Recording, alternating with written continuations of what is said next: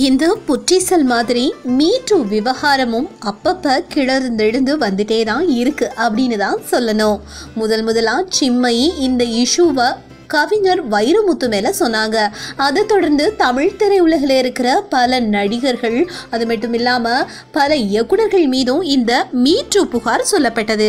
ஸ்ருதி கரிகரன் இப்போ புதுசா ஒரு பெரிய வெடிகுண்டை கொளுத்தி போட்டிருக்காங்க. அதாவது நடிகர் அர்ஜுன் மீது தான் கூறியிருக்கிற பாலியல் குற்றச்சாட்டுக்கு என்னிடம் வீடியோ ஆதாரம் இருக்கு அப்படின்னு சொல்லி நடிகை ஸ்ருதி கூறியிருக்காங்க.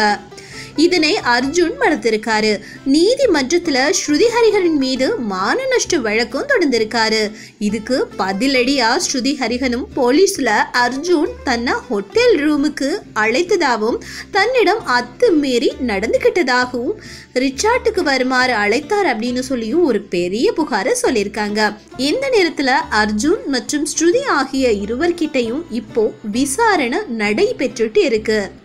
ஸ்ருதி ஹரிஹரன் பெங்களூருல பெண்கள் கமிஷன் தலைவியை சந்திச்சு பேசியிருக்காரு. பிறகு அவர் நிருபர்களிடம் என்னெல்லாம் சொல்லியிருக்காரு அப்படின்னா அர்ஜுன் மீது நான் கூறிய பாலியல் குற்றச்சாட்டுகள் எல்லாத்துக்குமே வீடியோ ஆதாரம் என்கிட்ட இருக்கு. அதனால் நிச்சயமா நான் கோர்ட்டில் சமர்ப்பிக்க இருக்கிறேன் அப்படின்னு சொல்லி ஒரு பெரிய குண்டை தூக்கி போட்டிருக்காங்க.